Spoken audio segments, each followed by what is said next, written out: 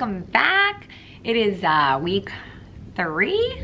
It's crazy. I know I'm gonna lose track of these weeks in no time, but right now it is week three, another full week that we have going on. For those of you that are new here, my name is Kristen Lankford and I am a pre-K teacher in Florida. And this is another weekly vlog, keeping you up to date on all the things that we are doing in our class.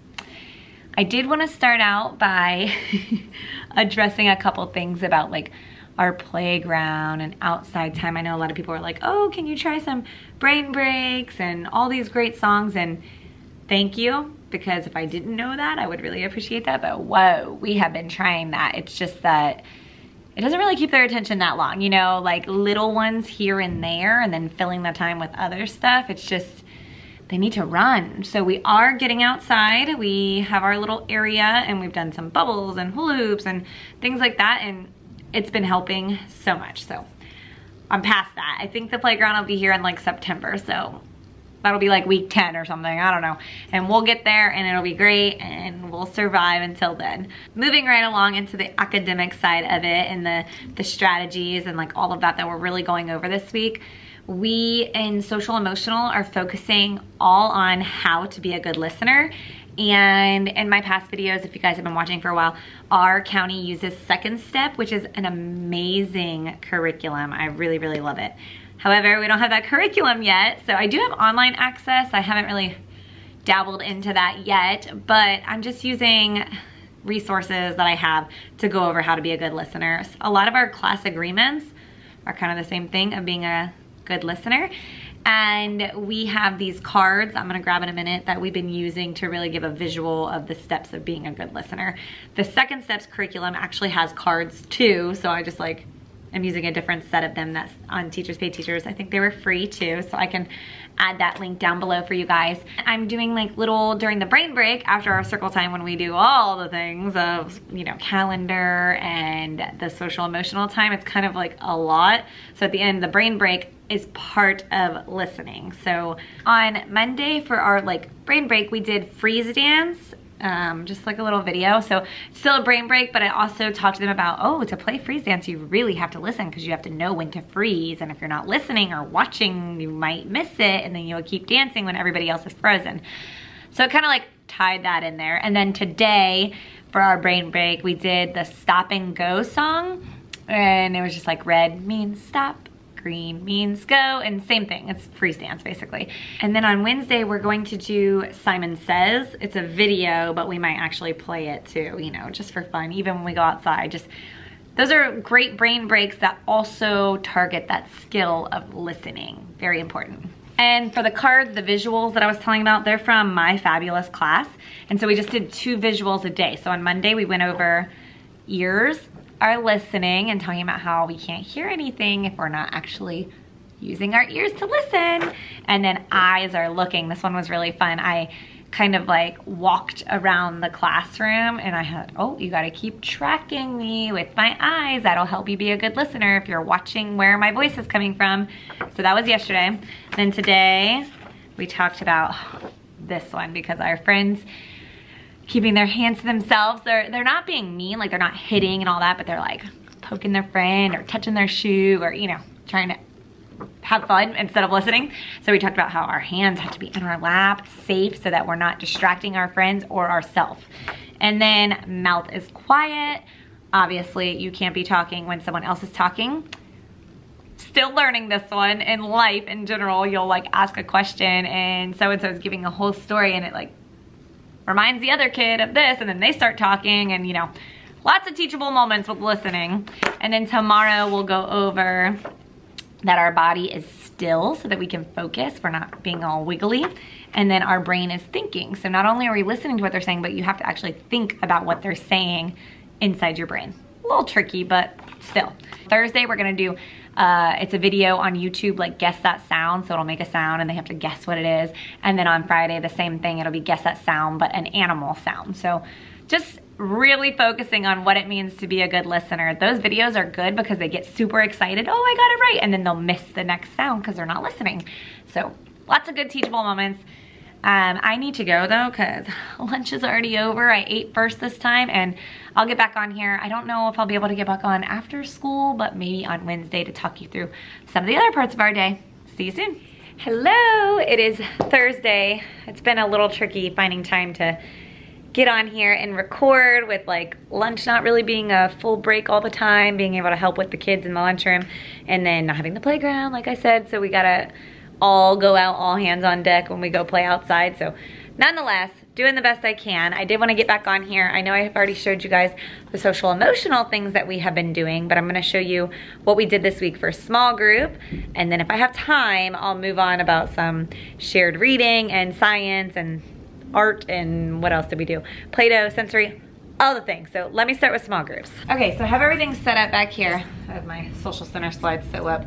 But the tricky part is, I think we already started cleaning up some things, so I might have to get up and go get it. But I did switch to those literacy centers, like two rotations a day. So on Monday, Tuesday, I have four centers planned out. And then on Wednesday, Thursday, I have four centers planned out. So it's like two activities for me that I need to plan a week, two activities for our alphabet center, two activities for our writing center, and then two activities for our computer reading center, okay? So I'm gonna do what I have here for math first, and then when we get to literacy, I'll explain that slowly. So for math, it's only four activities, four centers, one center a day. So for my center for math, we just used the pop cubes, you know, these are brand new, super shiny, so that's always fun. Not dirty and like not mix matched. I feel like at my other school I had ones that had like the hole in it and whatever. Anyways, very new. And I gave each kid like a group of the same color and we talked about making the stairs. So I said, you know, you're gonna make a tower of one and then you can make a tower of two and then a tower of three and then they like kept going to five. And it, it was basically play However, the conversations that were around the play is what gave us the academics. So, you know, they would make, maybe they would make two stacks and they'd be like, oh, I did my stack of four and they were actually both three. And I would say, hmm, well, if this is three, how can this be four when they look the same? What do we need to do? Let's count them, you know, and just all that conversation around it. And it was very easy to differentiate. So some of my kids that, you know, my my little ones, my little three-year-olds, this instead, just one-to-one with their fingers. And we talked about putting it on and off. On, and then I counted them and I said off. One, two, three, four, five. And they loved it and actually kept their attention for probably the longest activity they've done. So anyways, that's like that level. Then we went to the one to five with most of them. The other, the top two ones, you know, we built all the way to 10 and the conversations obviously guided around that. I said, okay, well, this is a group of 10. If I break it here, that means that this many plus this many. So very easy, but it elaborated a lot more and it was very successful. I love that. All right, that was at my table. For Miss Whitney's table, even though she's not really processed yet, so she wasn't really here every day for it, so some of them had to do it on their own. They did the number two worksheet. We did number one last week. In like in class, we're really focusing on the number three this whole week, even though they know more than that. So, you know, we we learn all the numbers, but focus wise, it's supposed to be three, but we didn't do number two yet. So next week it's gonna be at the center. It'll be a review for number three, even though we're working on number four. And all of this stuff is kind of from my district as well as like what the students need. My district says focus on three, but I know that my students are, some of them are past that. So of course I'm gonna push them. I'm not just gonna focus only on that number. So when they're with me, that's why I do those conversations and go higher. So anyways, that's what they did for the writing worksheet center basically. And next week they're just gonna do that same thing but number three and then keep going until we need to stop. For Miss Sam's group, she did this game and it's just numbers one to five. So they have headings here, one to five. And then it had a bunch of pictures that went with it. And the kids just had to count the number of pictures and put it under the correct number. So also differentiated, you know, some of the kids just focused on a couple numbers. Some of the kids were able to do it independently. Some of the kids really went one at a time. Let's all count this one together. What number should that be? But just a fun little game. Obviously, it's with the teacher, so that helps keep it pretty structured. But in the end, the small groups are most important for me to be able to get my instruction in and it's a bonus that Miss Sam and Miss Whitney when she's here can also get some academics in. And then the last one is computer, which keeps their attention. We did try to do a playlist of like number songs on YouTube and it went pretty well to keep it more like number focused. I don't know, or the computer and the apps and all that still working through. Okay, I have like three minutes. I'm gonna have to probably do a little bit of this and maybe get some at the end of the day. But for literacy, first round, I'm gonna get my lesson plans because I don't wanna get it wrong. I keep my lesson plans just like on a magnet over there. So I remember, see, now I remember. We did a cutting activity in my group and I just taped construction paper like down on the table. Of course, I don't have an example. I gotta get better at keeping examples for you guys. And I just did lines, like straight lines, swirly lines, zigzag lines, and I took data on like how they could hold the scissors and they had to sit on the ground and cut up. We talked about our elbow. And then for Miss Sam's, she did a letter building binder with these toys. I literally have nothing, it's all put away. I'll show you in a minute. Um, and then for the writing center, I think for writing on the first rotation, I'm gonna do like a fine motor activity so like Play-Doh or tweezers or something like that to build their muscles. So they did Play-Doh letters. And then we did computers, Starfall. Then the second rotation, so that was the first two days, the next two days, in my group, we did letter sorting. And they did this last week in small group with just like matching the uppercase letters, but I did sorting of straight line letters, curve letters or letters that have straight and curve. I also did letters in your name and not in your name. So some of the other activities in here and we just, you know, got a lot of a lot of data from does this person know what letters are in their name? Do they know what letter this is? What sound it makes? All that kind of stuff. And then for Miss Sam's table, so they did the letter building binder, I'm gonna show you. And then this time they did letters around the room and super easy. Sticky notes, wrote the uppercase and lowercase and she stuck them all around the room and then she would tell a kid, go find letter W. And they already like knew, if they knew what W was, they could go find it. If they needed a visual, she would show them what the W looks like and they would go find it and take the sticky note off and give it to her.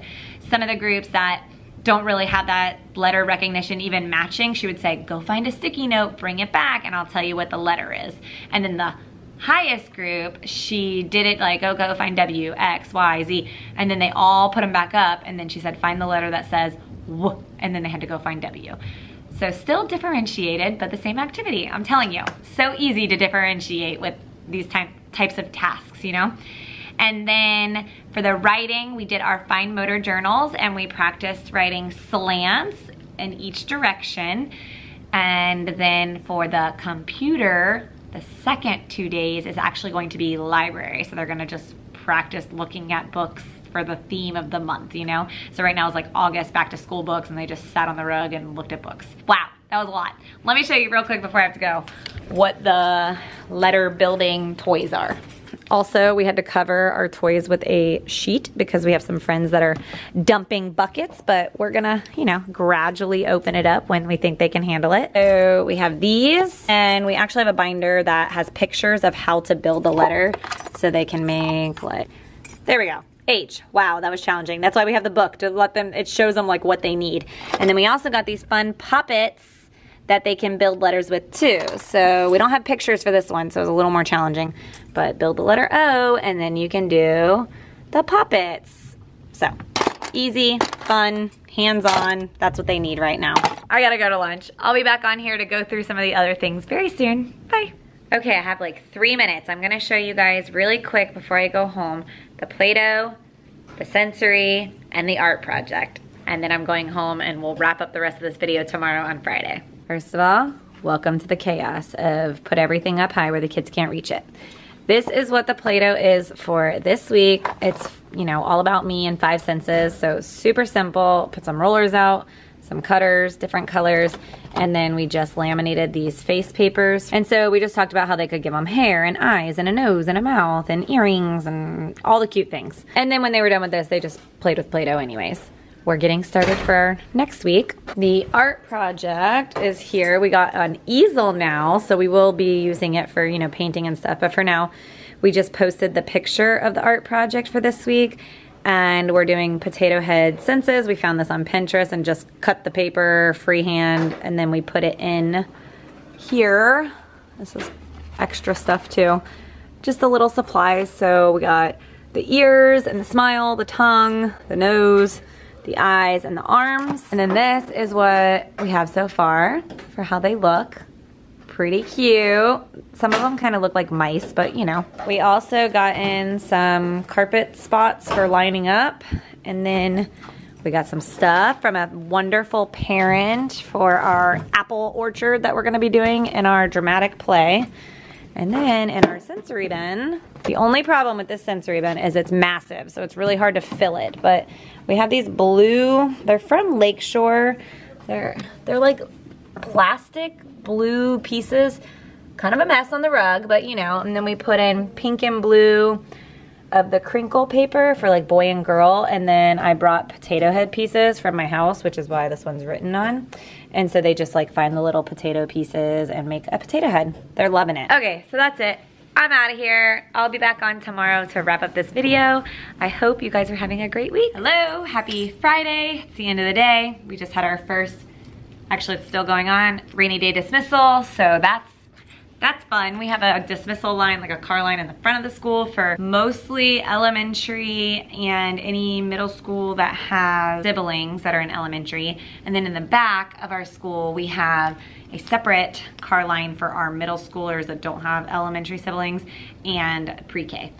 So that's why our line kind of ends a little faster, so lucky us. Anyways, I'm going to just wrap up a couple of things. Like I said, you know, everything's really digital right now, so I'm trying my best to like save copies of things that we do, but I might not be able to share everything that we do yet until we get some more curriculum in here. So for our math time, before we do our math groups, I'm giving myself like a real split second to do like a mini lesson. Like I'm talking mini, mini, nothing, nothing drastic because well, let's be real, they don't listen. So they're not ready to sit on the rug very long. They'd give more instruction at my table in a smaller group. So for instance, for instance, on Monday, we did the Jack Hartmann, I can show the number three in many ways. And then on Tuesday, we showed the number three in many ways on, on a poster. Well, not like a physical poster. We have like a whiteboard on the smartboard. So we they told me five frame, whatever, and we drew the pictures and stuff like that. On Wednesday, this was actually the longest of the mini lessons that we did, but it still wasn't that long. We made our own. I had this like able to print out, but then the copy machine, wow. We actually have a copy machine now on the second floor of our building, and we're supposedly getting one on the first floor too, where we are, but nonetheless, there wasn't a copy machine, so we just made them ourselves with little dotters. But we've been doing dot talks in the very beginning of our math where it just like shows a visual like this, what do you see? And they'll say circles or red or there's three. How do you know there's three? Or they'll say they're in a diagonal. And so just like exploring the numbers and dot form. So we did this and I gave them all like little counters and I would say find the number three and they had to pick one of the ones that was three. And it wasn't like a bingo, it was just like fill the board up and that was that. So it was still short, but it was the longest of the days. And then on Thursdays with the number three, we literally stood up and I showed them how to make a group of three with friends. So me, Miss Sam, and Miss Whitney, like we're a group of three together. Now you find a group of three. So when they did it the first time, it was like a hot mess because probably not that they didn't understand the three, but just getting in a group with your friends, you know, that's kind of tricky at this age. So we helped them and then they, oh, look, you guys are in a group of three holding hands. Great job. Okay, now find a new group of three and they did it way better that time. And then I think we did it one or two more times. Just like putting our bodies into groups of three. And like next week we're gonna do it with groups of four. So on Fridays we do not do small group for math or literacy. So that means that I have to plan like kind of like a math activity and then like a literacy activity which is gonna be our uh, shared writing that we're gonna try and do, which went well today. So I'm gonna show you those things. For our math activity, even though we've only gone through zero, one, two, and three, you know, I just wanted to see like what they knew for four and five and it was kind of split. Like half the class can count to 100, I'm pretty sure. And then the other half, you know, they're learning as we're teaching it. So I just gave them a thing of stickers and they already had this and they had to put one sticker on and then two stickers, three, I showed them with the four. And that was that. Simple activity, stickers, they love it. Then for our shared writing, another cool part is like anchor chart paper, I don't even really have to use because the smartboard has this like whiteboard feature and the kids it's just because it's like on a board they're just so engaged it's crazy so we talked about how we can draw our pictures with a pencil instead of a crayon and then we can color with our crayons kind of fast forwarding into my literacy like group time too but we read a story from our curriculum called what makes or if you're happy it's basically if you're happy and you know it they had to cover their ears if something's loud stomp their feet they did use your nose there was like different versions so anyways we did the shared writing activity on what makes you happy. So I modeled, just like I would do in kindergarten, I did a modeling. Oh, let me think, ah, this makes me happy and this makes me happy and da, da, da. Let me pick one of them. And so I picked coffee because at that moment I needed some coffee. I really wanted coffee. So I said, coffee makes me happy from Starbucks. And I just drew like a person. I just talked through how I was drawing it, that I have two arms. This hand's gonna hold my cup. I'm gonna make a rectangle for a cup and you know, the whole thing. And then after that, on the bottom, I put a blank and then I put makes me happy, period. And I told him, I said, you know, right now we're learning how to draw and answer questions through our drawings. But pretty soon, once you learn your letters and your sounds, you'll be able to use your letters to make words to tell us what you're thinking, right? So I sounded out coffee for them on the blank and I told them, everyone, all you're doing is drawing a picture. When the teachers come to you, we'll talk you through that sentence because some of the kids, I mean, their drawing is like what I wanna see, them just putting crayon to the paper, you know?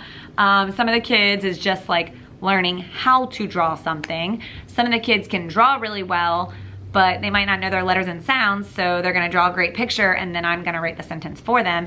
And then some of my really high ones that I told you I have this year, they're ready to at least write the beginning sound of what makes them happy. And then one of the little girls sounded out the word she missed a few sounds, like had the letters a little mixed up, but still the concept of being able to stretch that word was mind blown. So I got an example. This is one of the students that was able to get a beginning sound and then like one extra sound in the word. But as you can see his picture, he said, he even said, I don't know how to draw a pool. And I said, well, what shape is your pool? And he said, um, it's big. And I said, is it a square or a rectangle? And so he attempted to draw a rectangle and then like, this isn't him, or I can't really see it, but this is him. Then he colored the water blue. Then down here, I put a blank, makes me happy, and he said swimming. And so I wrote swimming really small here, but he put an S and an E, swimming. That's what he got.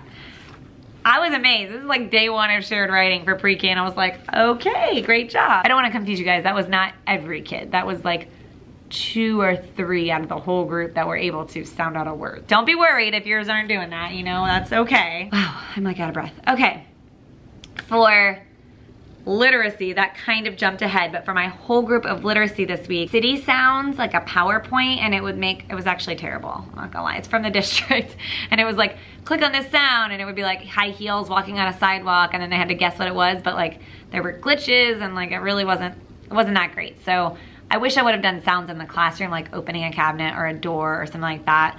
But nonetheless, we got through it. On Tuesday, we talked about same and different. And so we had these picture cards. We didn't actually get to it. I don't know. I don't know what happened. Who knows? We probably were like losing our minds in here and we needed a break so we didn't get to it but I can get to it another day or in a small group so it's just like pictures of animals with the word and so I was just gonna have them find a partner that has the same one and then I was gonna have them find a partner that has a different animal just to work on that vocabulary but it didn't happen so maybe next week and then on Wednesday like I said we had picture day so it was really early in the morning but we just skipped over our literacy like whole group and still did our small groups and then that What Makes You Happy book from the district. I did the digital version since we don't have our curriculum. Day one, we talked about vocabulary. So I picked four words for vocabulary and we did a physical action for it. So when we read the story, when they heard that word, they had to do the action. And then on Friday, today, when we read it, we did the shared writing. So that kind of was like day two of reading that. Once we get into like our show and share and stuff, I'm I'm gonna be manipulating that a little bit because we do show and share on Friday instead of a book but I still wanna have time for that shared writing since we don't have small groups, so I'll figure it out. Now this year, I do have time for some science and social studies. It's not a lot of time, so it's short and sweet type lessons, nothing too crazy. Um, we are, like we introduced five senses this week. So for Monday is like early release so they don't get science or social studies. But Tuesday, we did five senses, like a book about all the senses, just like what it means. On to Wednesday, on Wednesday, we did Five Senses at the Beach, and it's just a book on myON, which is a district thing that they have for read alouds that we use. And then we just had discussion about it. It wasn't any like actual hands-on activities. It was just a book talking about it. Then Thursday, Friday, I did social studies, which we talked about how people, like we all look alike and different. And so we talked about uh, we read a book on myON as well, and it talked about skin color and hair color. And so we just talked about our things that we look the same and things that we look different with. And then today, we really had like no time. We read the book and that was it. It was about families, how families are different, that, you know, some families might have a stepmom or a stepdad. Some families have grandmas and grandpas that live at home with them, could be adopted, like all those different things, very surface level. And then they, before they packed up, I just had them tell me who lives with them at home, including pets, and then they got to pack up. We got a lot done. Actually, I finally like got my picture schedule like finalized and when I was taping them all up, I tried to do magnets because it's on the whiteboard and like take them off like I did last year with the Velcro, but the Velcro wouldn't stick. So I tried magnets and the magnets were not sticking. And then one of our little friends was ripping off the magnets. So I was like, oh. So I finally just like taped them to the whiteboard and I have a magnet and I'm just gonna move the magnet. But the funny story is I put them all up and it's a lot. Like there are so many, like everything's real short, but it's just a lot. And he said, wow, that's a really long day.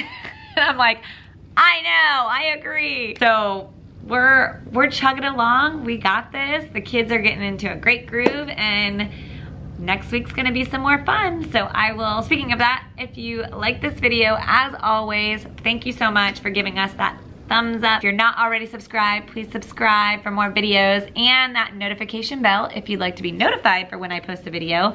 Since I can't get my life together and post on the same day every week, I'm still working on that, but life is crazy and doing what I can. So I hope you like them. I hope you have a great weekend, or if I post this on Sunday, you already had a great weekend, and I will see you next week. Bye.